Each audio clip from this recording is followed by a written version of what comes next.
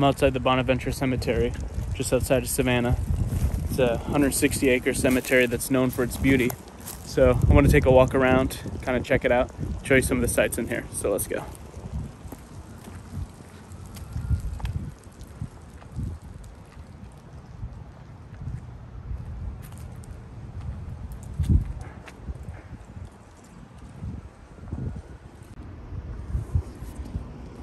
So I hope you can see this, but as soon as you walk in, there's this map here. Etched out of some kind of stone of all the plots here. So, pretty decent size. And as you walk back, see here, there's some tombs. Obviously a lot of the grave sites. A lot of famous people buried here as well.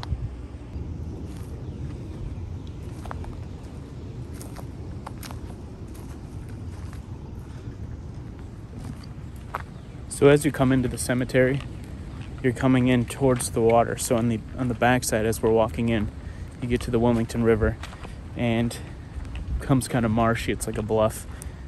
But as you're coming in, it seems more like you're in the trees. But we'll see that as we get there.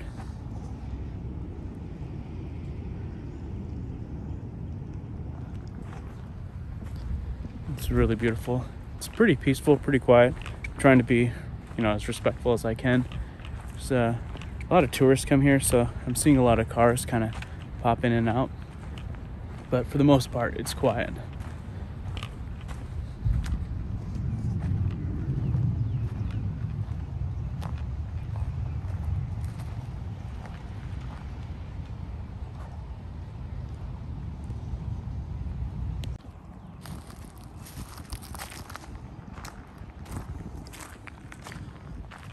These trees are uh, just covered in moss and it hangs really low since there's not a lot of traffic through here. The, uh, the moss really grows low. It's just, I don't know, I don't think you see this anywhere really.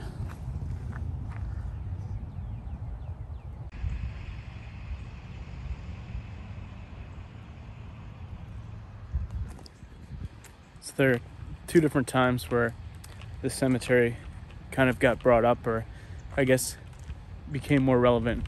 Uh, this place was originally founded in the 1840s, and through the 1840s and 1850s, I think a lot of people just considered it a cemetery. Really, it's built on a old plantation. Uh, but in the 1860s, there's a guy named John Muir, M-U-I-R. I think that's how you say his name, and he uh, he was kind of a journeyman who had traveled through America, and he wrote books and essays about how beauty how beautiful a lot of the things he saw were. And he's kind of known for being one of those people that really helped found like national parks and kind of to recognize the beautiful parts of the country. Well while he was on what was called uh, the thousand mile walk he walked a thousand miles. He stayed in the cemetery for six days because i guess he was waiting for someone to to wire him money so while he was here, he wrote a chapter in one of his books about this place.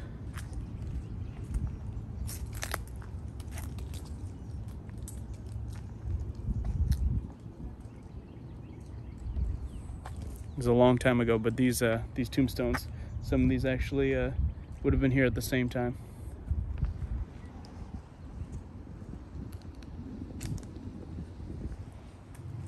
So, a funny thing about John Muir is if you look him up, there are a few pictures of him online you can find. And even though it was in the 1860s, if you look at him, he looks exactly like the type of guy that would go around the country and uh, write about how beautiful it is today. I mean, he had like, he looked like a hipster. He had like a long beard, shaggy hair. I mean, if, if you took his picture and just said he was a guy now that writes poems, uh, he looks exactly like that.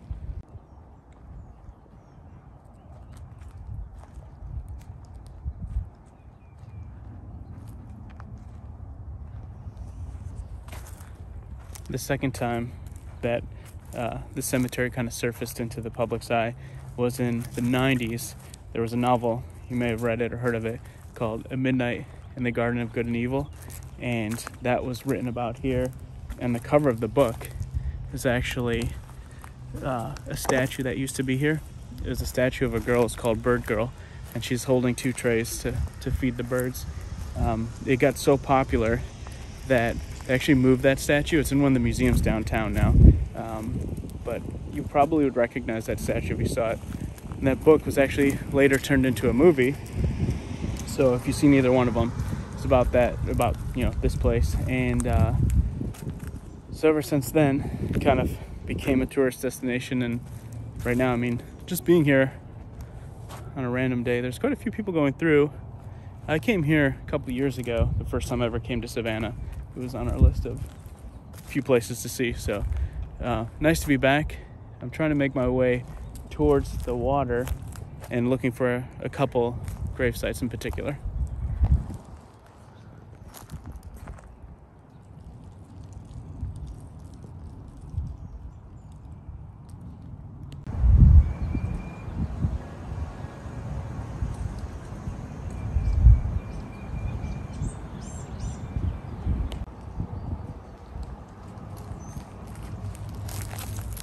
All right, let's see if you find strange things beautiful like I do. So in this site, let's see. The last tomb, the person died in 1976. So the last one was 45 years ago. So look at this.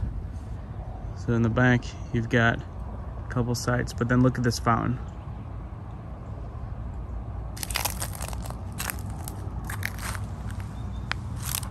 It's just fallen over. Grass is kind of grown through it. Something about it just looks really beautiful to me. In a place that's somewhat well groomed.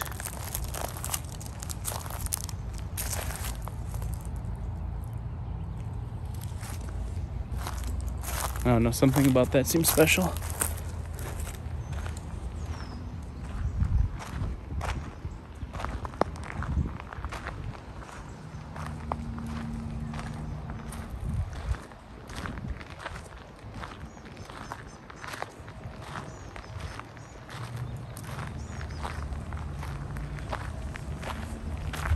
Okay, this side here has uh, some kind of plaque explaining the family, so give me a minute to read it and I'll show you.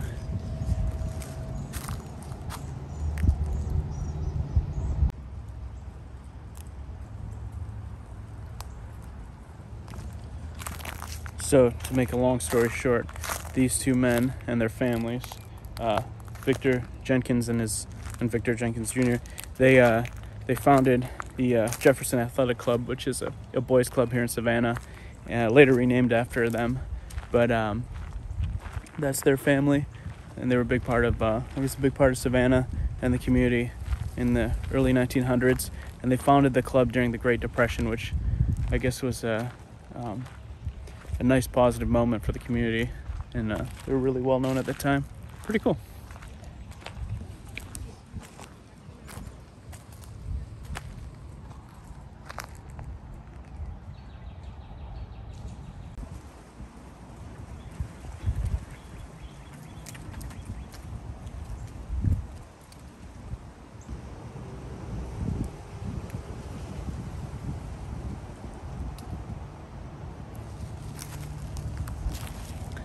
I don't really have any personal connection to the military or anyone that served in the military. I mean, I've had family members in the past that have, but um, I guess just my appreciation for American history and kind of how this place came to be has always made, I don't know, made me respect the military. And this is a, a plot here filled with soldiers who, uh, who served, I'm assuming, people who lived in this area that served.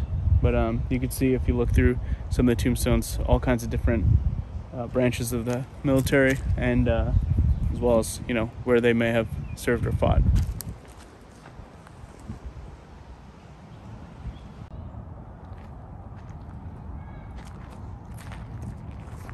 So I wish I knew the story behind this.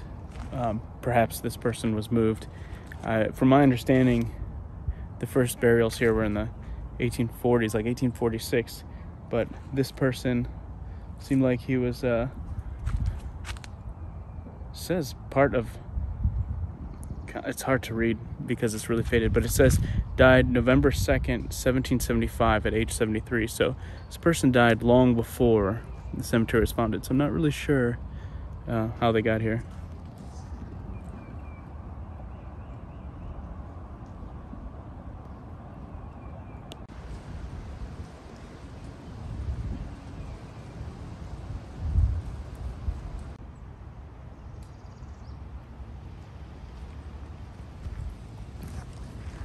So we're almost to the first, or one of the first places I was looking for.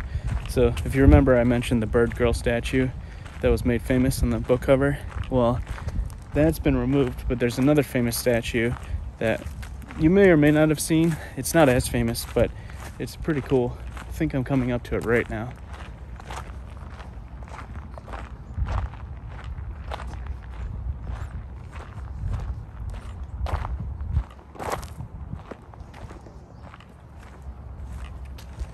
But I gotta say, uh, the, this entire place is, is really beautiful.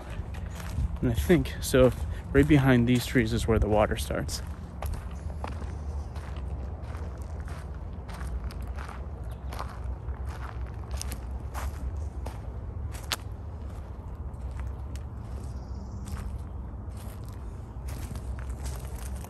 Not much left of this bench, but I want to sit on it.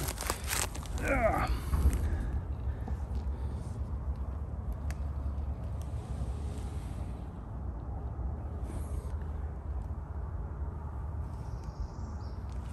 let's keep going.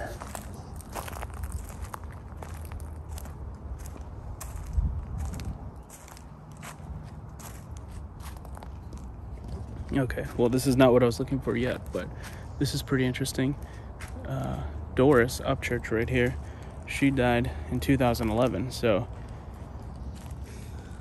I'd say definitively from what I've seen so far, this is the uh, this is the most recent grave that I've found. I'm sure that I've passed many others, but I just haven't seen them myself.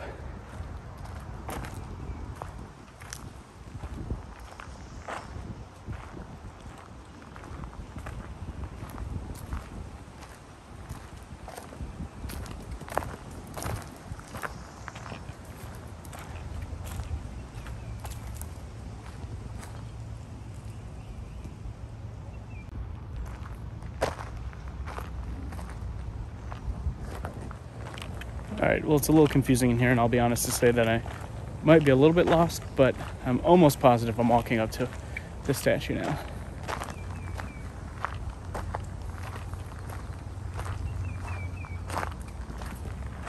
This, uh, this first statue looks like an angel. Uh, this is not it, but looks like it's right next to it, and uh, it's pretty cool as well.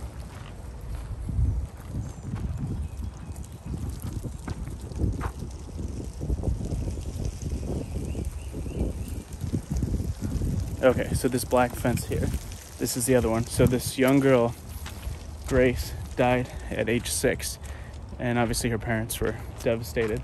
So they hired a sculptor, and he took a picture of her, and well, took a picture from the family, and he uh, he made this sculpture of her.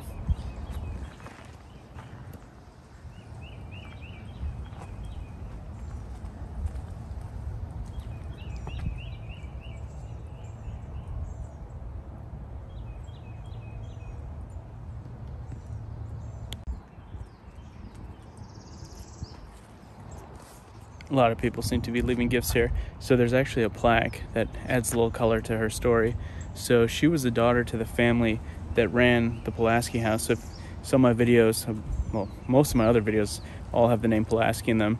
Um, but it was a hotel, and she was loved by the guests, and she would greet guests, and the family, you know, ran the hotel, or the Pulaski House as they call it. And she died a couple days before Easter in 1890. So it's like 131 years ago, and um, so she was known around town for being part of that house. And the sculptor, um, when he built it, I'm pretty sure it doesn't say here. Don't quote me on this one, but I'm pretty sure he's buried in the cemetery as well.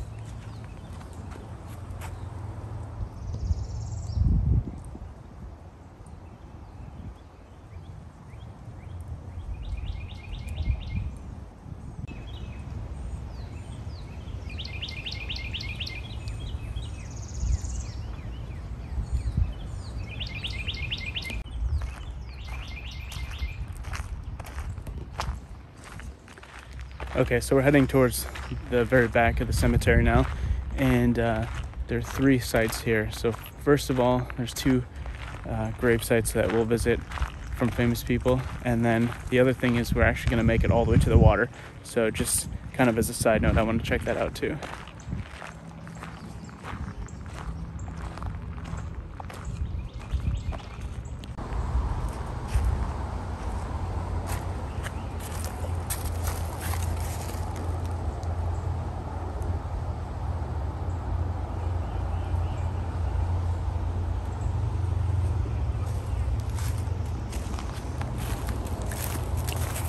2021 really makes the 1860s feel like a long time ago, huh?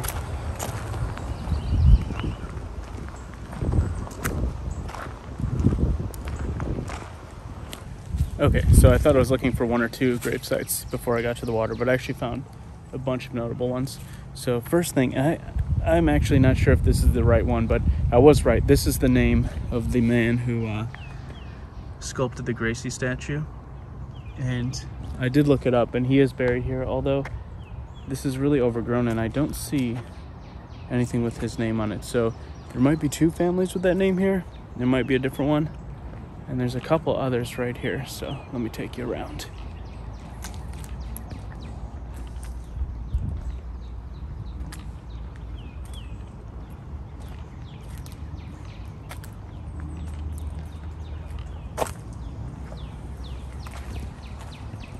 So, if you're uh, familiar with Conrad Aiken, uh, very famous poet. I'm not like an expert on poetry or writers, but he's buried right over here as well.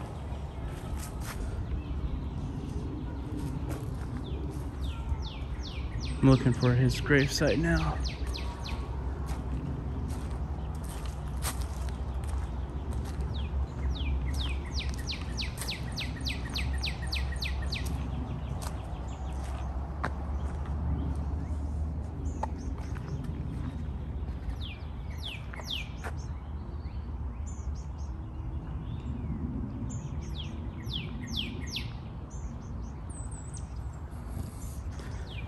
Oh, that's actually none of the sites I was looking for. It's pretty impressive nonetheless.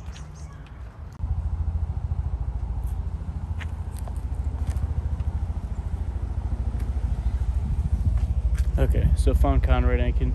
This looks like his parents because um, two Aikens that uh, both died long before he did.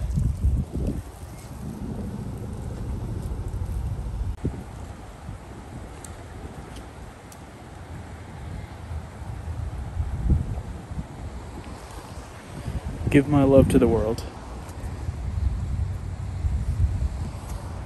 We'll do our best.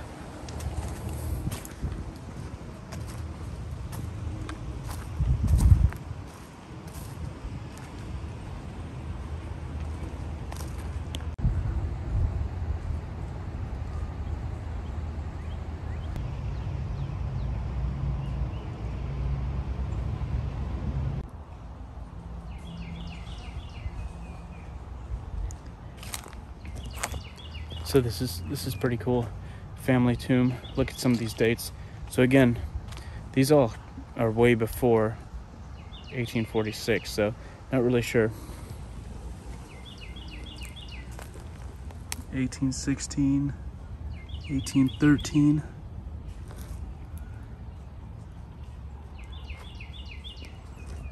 pretty wild stuff. I wonder what's going on in there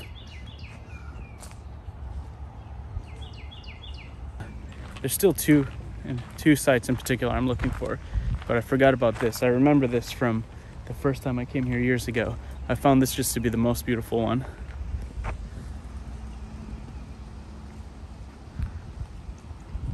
It's almost like like arches looking at the water.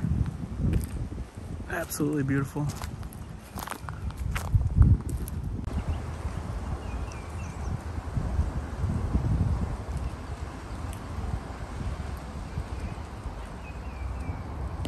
We made it this far. Let's check out the water and then we'll keep looking.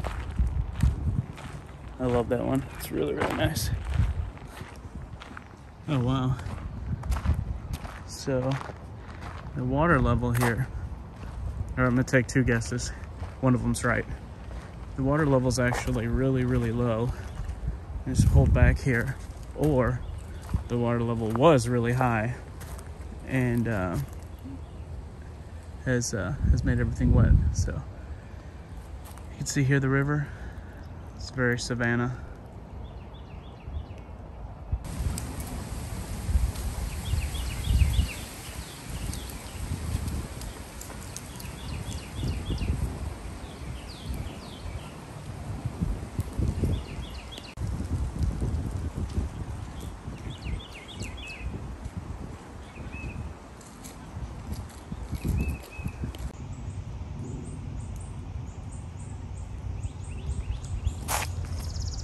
I'm determined to find this one site. And while I'm looking, I came across something pretty cool here. These are the uh, old pumps, old water pumps that used to supply water to the cemetery way before they had city water.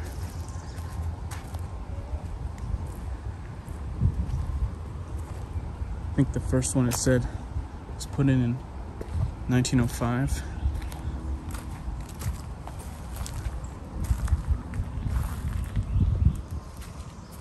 Pretty cool.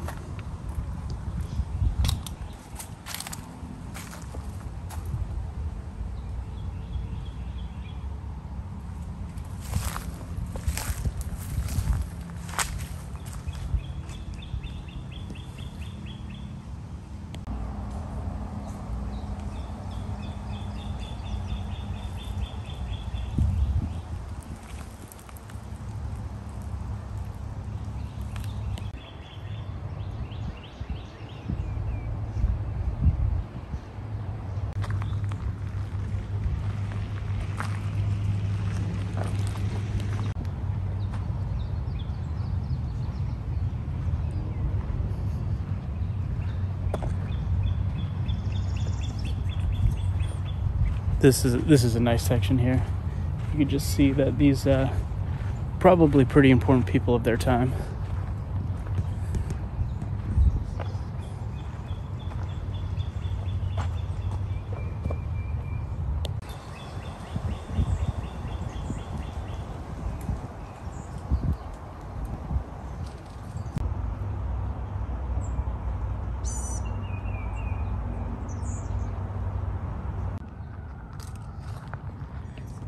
With all these, you know, gorgeous monuments, statues, sculptures, and all this. Look at this very modest grave here, five people buried.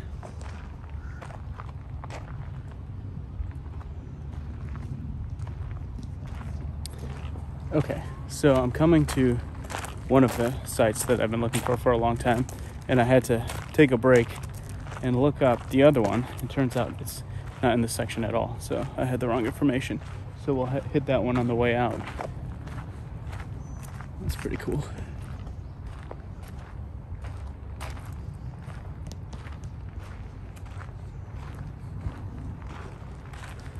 But you may or may not know this person.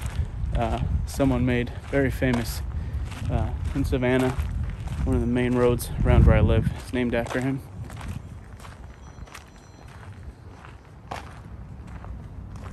All right.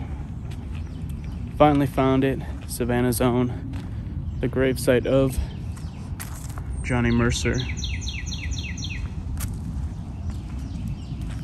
So obviously the Mercer family here, and then there's a bench here for Johnny Mercer himself. Pretty cool.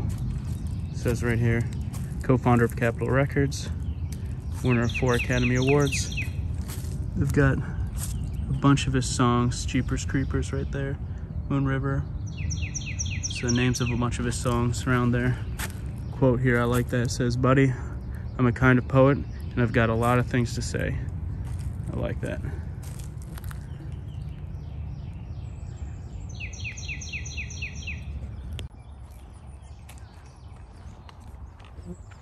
Pretty cool.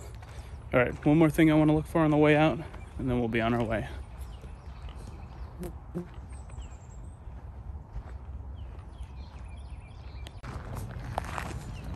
Here's, here's a bold move. Look at this. General Anderson.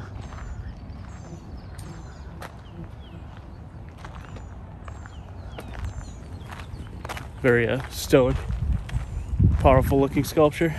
Pretty cool.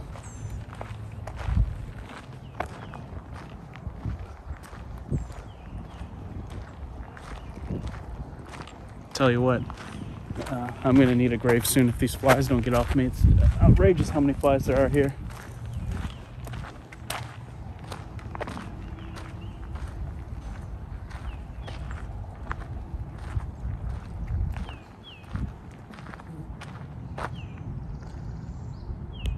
I mean, no disrespect when I say this, but besides Savannah being famous for uh, sheer beauty, it's undeniable. It's also really famous for being very haunted, they say. And here's an example. I mean, how do you make entire section of a cemetery look black and white and haunted? Look at this. Come back at night by yourself.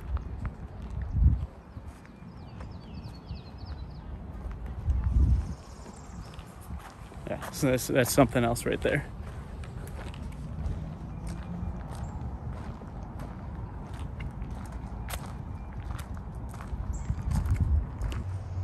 I made it full circle, going on a wild goose chase. Finally found what I was looking for. So before I explain it, you might remember me actually even showing it. Early on I passed this. The reason I couldn't find it is because this is the uh, the burial for the Neill family, and the person I'm looking for was the wife of a Neill, and so her name was different. You might not even know who she is, but right here is the grave of Edith Chapman and she was uh, an actress way back in the I mean, we're talking about the uh, silent film days, so you probably haven't heard of her, but she was a big deal. It's pretty cool that she's filmed, or that, not filmed here, that she's buried here. Her husband was also an actor, so they're buried right next to each other. So you see James Neill, wife of Edith Chapman Neill.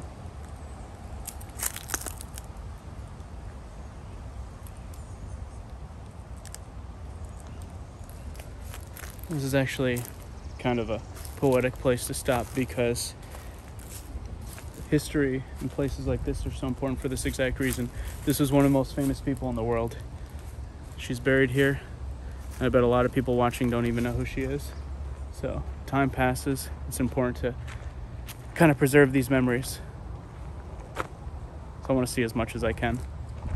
Anyways, thanks for joining me today. I had a great time hopefully we can see some more soon.